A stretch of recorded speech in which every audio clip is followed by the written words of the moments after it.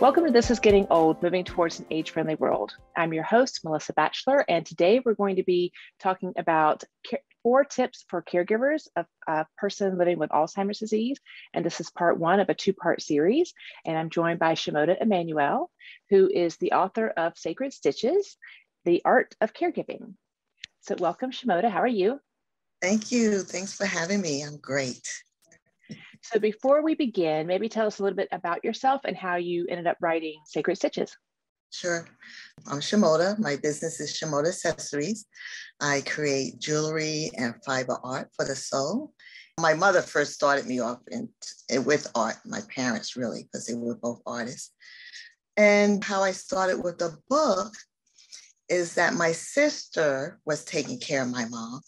And I would, you know, help her out from time to time, go out there and or bring mom here to stay with me, give my sister a break.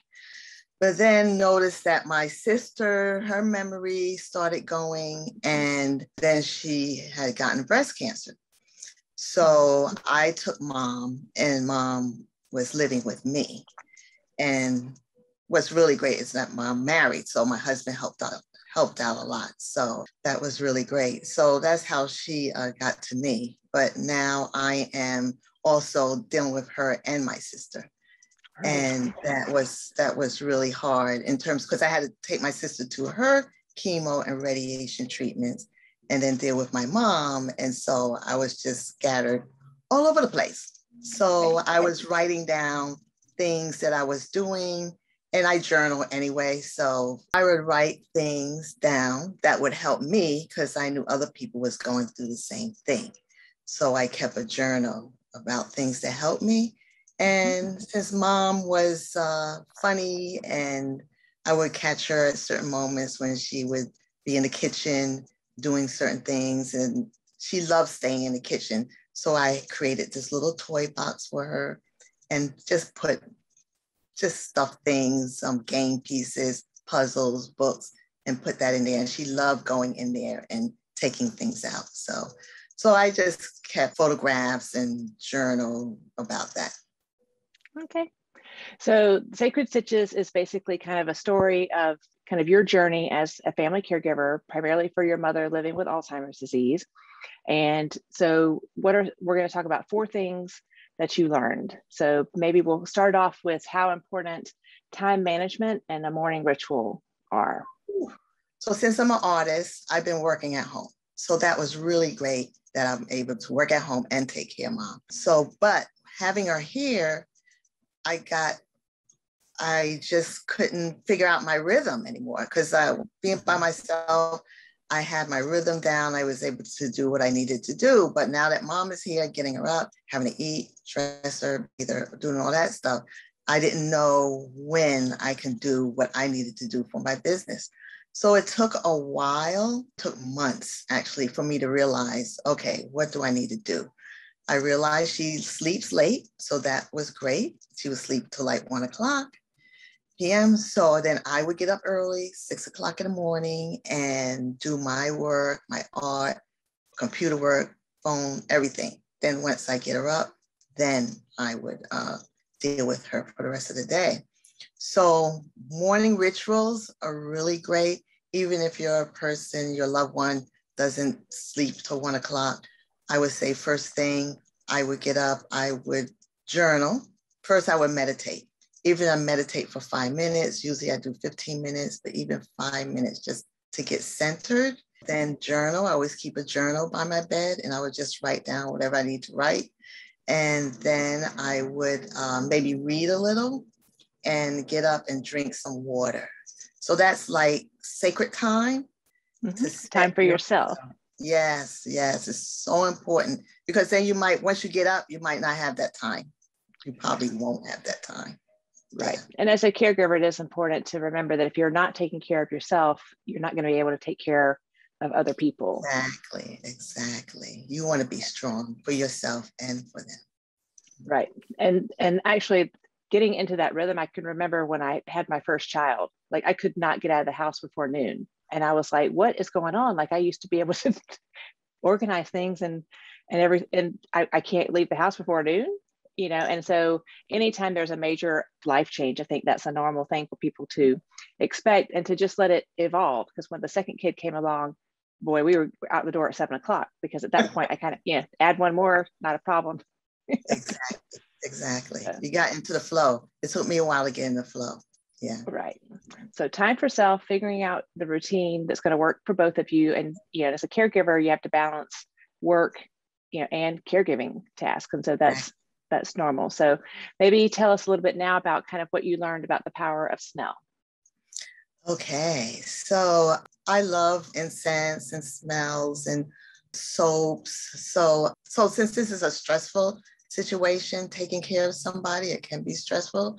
There's certain oils that are good for that. So like lavender, lemon oil, uh, even cutting, slicing a lemon and just smelling it will help a lot.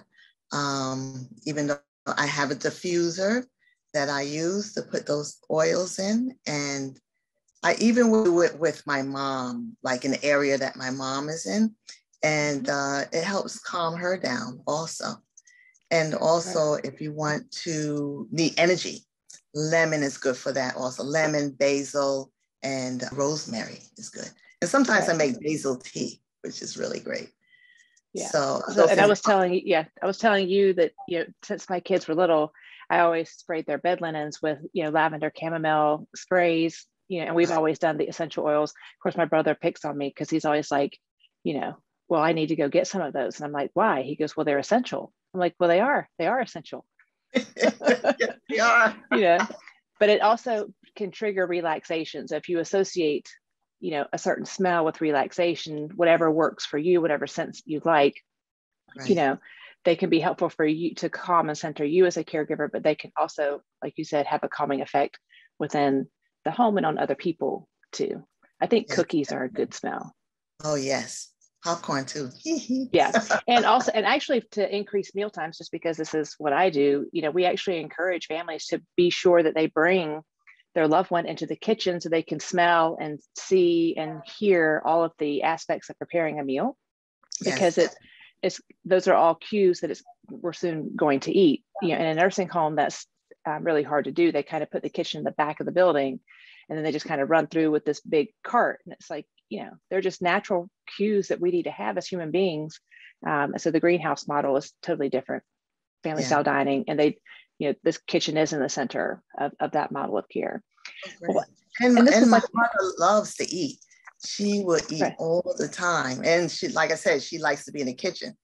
So it's anytime, anytime is a time to eat for her. Right. And this is a, actually a perfect segue um, into how food can affect moods and how you and kind of your journey with that. But my mom's always told me like the most important room in any home is the kitchen. kitchen. So yes. So tell us a little bit about what you learned about mood and yes. food. So mood, being aware of how food affects you. So I know for me, during when summer comes, I want salad. I want to eat a lot of salad. So that's something that I know about myself. And then when fall into winter comes, is soups. Like my body is craving soup. So what is your being aware of what your body craves and with my mom, and usually I'm healthy eater, so that means she's got to be a healthy eater. And right. uh, my mother used to have pain in her hip, and sometimes she would be fine, she would walk perfectly, and then the next minute she'd be bent over and could hardly move. And I would try to sit her down. Okay, mom, sit down, sit down. And I would put some cream on her and um, and then she would sit, she would stand back up, even though she's still in pain, she still want to stand up and walk. So I was trying to figure out what is it that's causing this. So my girlfriend came over and you know she sees what I feed her and everything, and so she said, you know what, sugar might be uh, causing the pain, her hip pain. So and my mother loves sugar, loves sweets, and so I eliminated sugar from everything, and so I didn't give her the yogurt anymore and I would make these nutritious shakes, which were really good. And I used to put a lot of not sugar because I never really used sugar, but raisins and dates in it to sweeten it. Mm-hmm. And I switched that to um, what's that sweetener?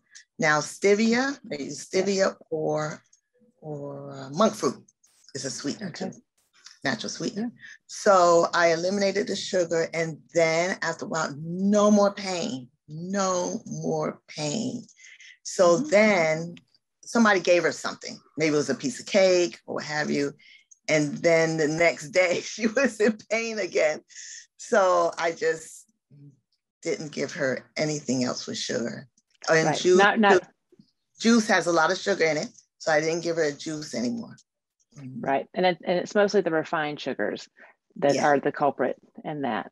And then the other thing I was going to say, I think one of the things that you mentioned was, you know, liking to have soup in the fall. And I do think, you know, a crock pot and, you know, things that you can kind of either, or like a Dutch oven, you know, anything that you have on the stove or can kind of automate is also going to help with time management. And so I know like as a mom, you know, I would always put stuff in the crock pot in the morning so that at the end of the day we would have a hot meal instead of you know coming in the back door and being like okay now we're, what are we going to eat so it takes a little bit of forward thinking but exactly. i do think that that's another um, way to help with time management um, exactly. as well exactly and i got to use the crock pot because i've never used one before but that would be good for soups and also yes. another thing I noticed is that uh, with me, since I was working before getting her up, I gotta watch what I eat because I know for me, sugar makes me sleepy.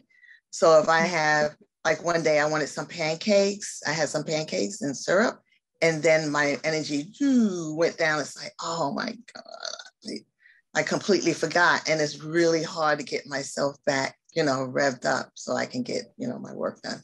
yeah. yeah. Well, that was a perfect segue into your fourth point, which is the importance of sleep. So sleep. tell me what you learned about sleep. okay, sleep. My mother would sometimes uh, wake up in the middle of the night. I had her sleeping in the living room. I live in a duplex. So my bedroom, our bedroom is upstairs and she sleeps in the living room. And uh, so sometimes I would hear, you know, some movement so I would go downstairs, check on her, and she's up walking around, and you know, I put her back to bed. She's, she's usually in the kitchen. Right. Lights out, but digging in her toy box in the kitchen. right. And one night I woke up smelling gas. And mm-hmm. so I went downstairs and she had the gas on and she's like walking out the kitchen like happy go lucky. So the next day, I immediately went on Amazon and found it, there's something for children to keep the children from playing with the knobs. So I ordered right. that. So that helped out. So with sleep, what I give her is sometimes, and my mother doesn't take any medication. So this is something you might have to check with your doctor, but have um, melatonin, the tincture, because they have melatonin in pill form. I give her the tincture. I just mix it in with some water and uh, have her drink that like a half an hour before I put her to bed. And like within a half an hour, she's sleepy and easily put to bed. And usually she sleeps throughout the night. Also, I give her, and this one, this I got from my niece who has two rambunctious kids. And uh, she says she gives them mel, um, not melatonin, she gives them calcium magnesium powder it's like a raspberry flavor. And so she mm-hmm. tells them at night, like, okay, it's time for your soda, and uh, gives it to them. And she says that like knocks them out. So sometimes I'll give my mother that, and mm-hmm. that usually knocks her out also. So that's um, my recommendation on sleep. And also, I have a cousin who's two cousins dealing with their mom. And so she she sometimes gets up throughout the night and they have to get up and she's trying to go outside and it was just really hard on them so i also told them they need to get this and they said that it has helped right and it's actually a safer alternative than using like benadryl pm or tylenol benadryl or tylenol pm because the benadryl uh, actually increases a person's risk for falling if you're over 65 and taking that so it is better to use like a chamomile tea you know, right. or um, the melatonin that you you mentioned, just because that's just a safer alternative. Yeah. So wanted to share um, your Sacred Stitches book, and we're going to come back and talk about part two and some other tips that you have for caregivers. So how could people get in touch with you and find find your book and okay. your cards? Yes, my cards, my um, Sacred Stitches cards. I got them right here and you could pick a card for the day. You got joy. joy. Mine today was peace. Nice. So the cards have my and my mother's artwork on there, and it's on one word. And you just pick a card for the day, and you focus on what that word is for you for the day. So you just you happened to pull focus when you said focus. yes, exactly. Um, so they can reach me at saharlem.com, S for Shimoda, A for accessories, Harlem. I live in Harlem, New York. So saharlem.com. And you can buy the book, the cards, my jewelry, fiber art. And uh, if you want to see me on Instagram, you can uh, go to Shimoda Accessories. Uh, you can find me on Instagram or Facebook, Shimoda Accessories. And you'll okay. have the link. Right? Yes, we're going to put all the links on my website, melissabphd.com. And so thank you so much for being with us today and uh, tune back in to part two. So, thank you. All right, we'll be right back. Thank you for tuning in to This is Getting Old, Moving Towards an Age Friendly World. I'm your host, Melissa Batchelor, and if you'd like to learn more, you can check out my other episodes on my YouTube channel by either by subscribing and ringing the bell to get immediate notifications when new content comes out. In addition, you can also find the audio version of the podcast on Amazon Music, Spotify, iTunes, and Stitcher. Please feel free to leave an honest review because more reviews mean more awareness of the podcast and helps us move towards an age friendly world. If you have a comment or a question, you can visit my website, melissabphd.com. Go to the Contact Melissa tab and you can leave me a voice message. You never know, it might just include your question or your comment in an upcoming episode.